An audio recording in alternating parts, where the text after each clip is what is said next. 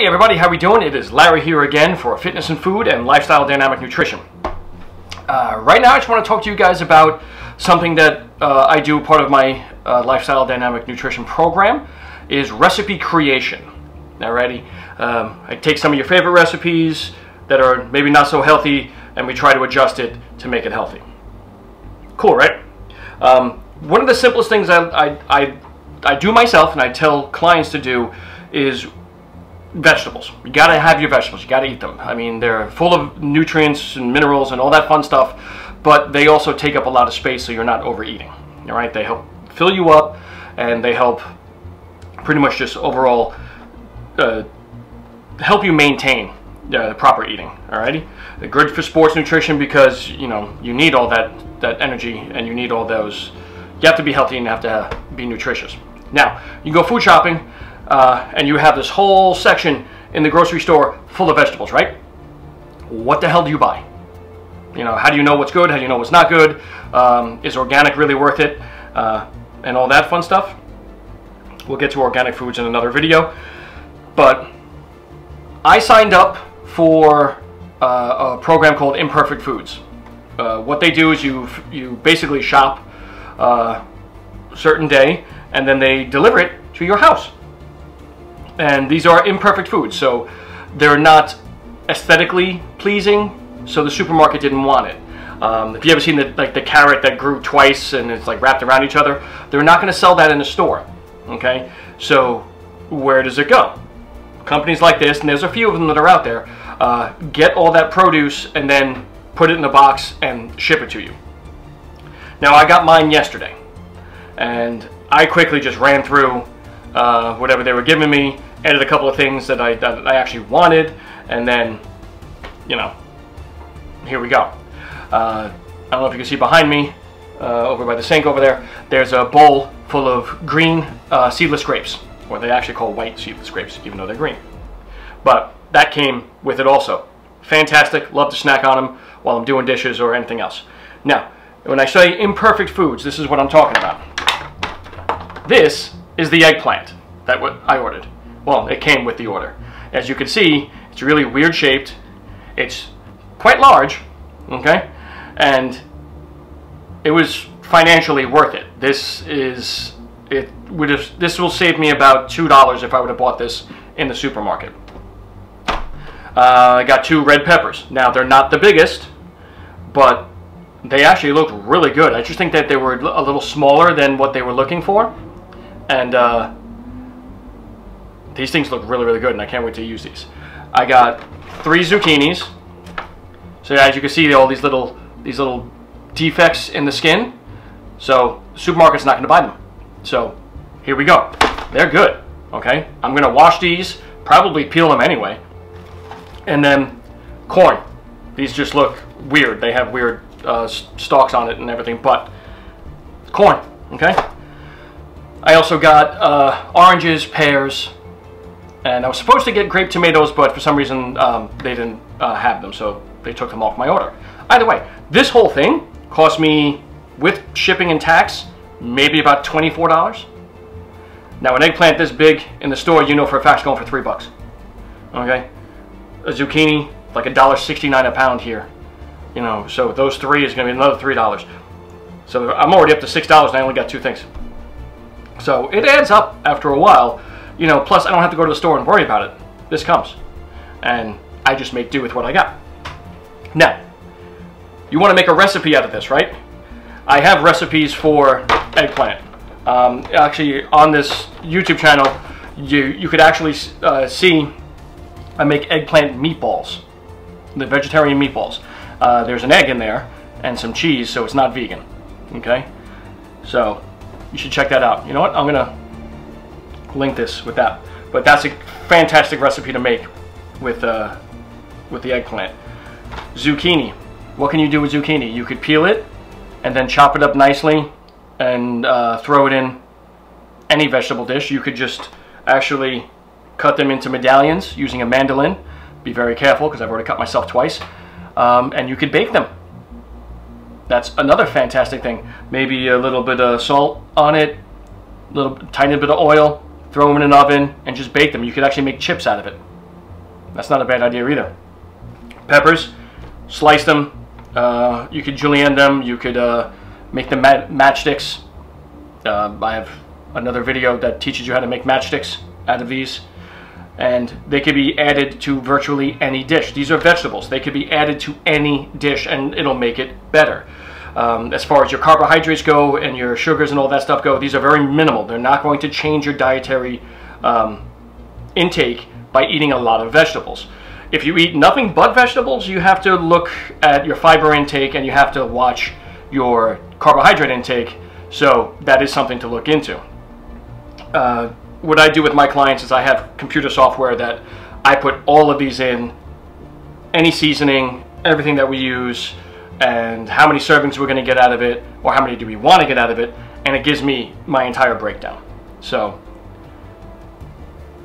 you, I say on the website, you are only limited by your imagination. Yes, I stole that from Ratatouille, from Disney's Ratatouille. Don't care, because it's true. You know, this eggplant, if I don't use the whole thing, if I'm only cooking for myself, I can cut it in half and I can make my meatballs out of that. I could spiralize these. If you have a spiralizer, you know the little hand crank and it just turns these into that. that the store sells them for zoodles. Okay, that's the name of them because they're like vegetable noodles. Okay, they sell a small little container for like $6. I could get all that out of this. You know, if, especially if I'm cooking for myself.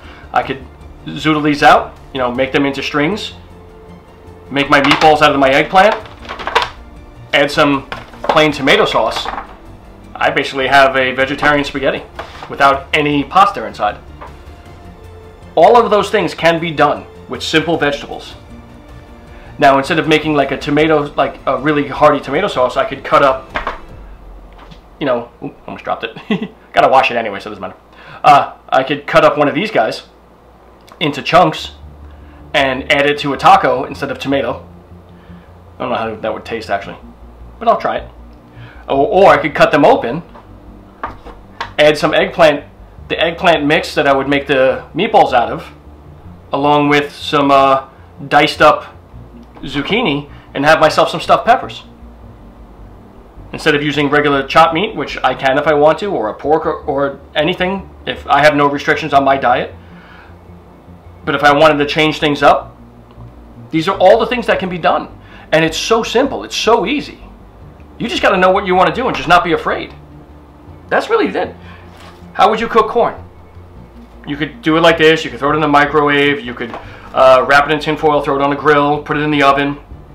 Or you can completely strip it and then just cut off all the kernels and toast them and have something completely different. You throw that in with maybe some chopped up eggplant, maybe some all any of the all of the chopped up vegetables. I also have some onions too that I got from last week. I also got avocado from last week too. They're a little smaller than usual. I mean, they came bright green. They're not really ready. They're not ripe yet. But if you see how tiny this thing is, it's really small. So um, just to give you an idea, like that's the size. So these, some of these things are small, so the stores aren't going to buy it. But that's why they send you three of them. You know, look at this tiny little onion. I mean, it's like perfectly round, like it's perfectly onion shaped, I should say.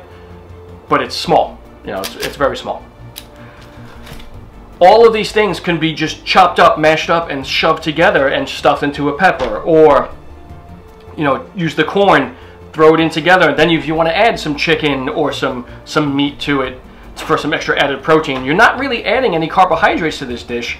So your calories are going to be low. And on top of that, you're, if you're on a keto diet or even a carb restricted diet, or just looking to not eat so much carbohydrates, you want to fill up on something else, vegetables is the best thing to fill up on.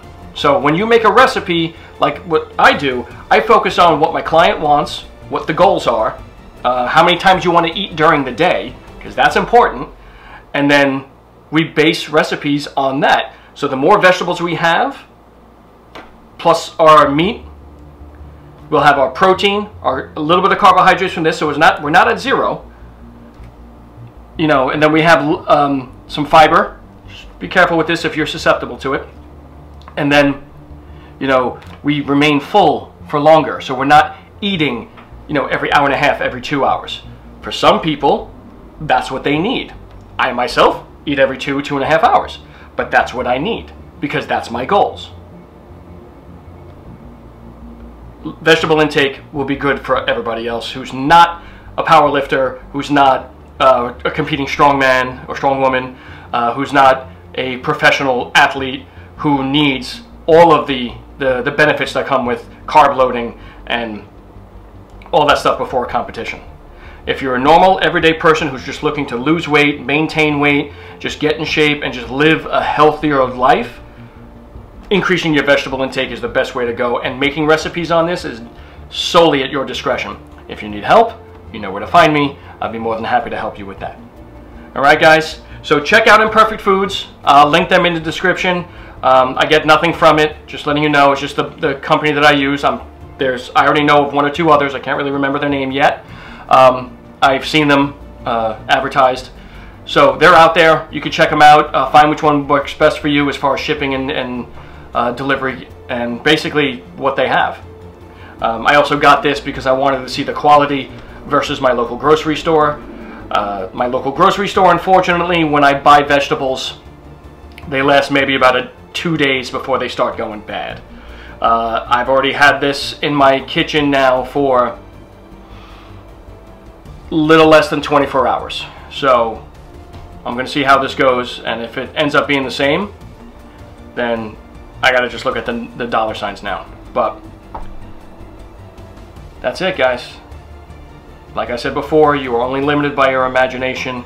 Recipe creation is easier than you think. Uh, spices do wonderful. And don't be afraid to explore, to try new things, and then just learn. Learn, live, and do all that fun stuff. Alrighty, thank you again for watching. Uh, if you haven't done so already, hit the like and subscribe button so I can keep, continue bringing you guys some awesome stuff uh, and some ideas for pretty much everything. Alrighty? Have a great one, guys. Thanks.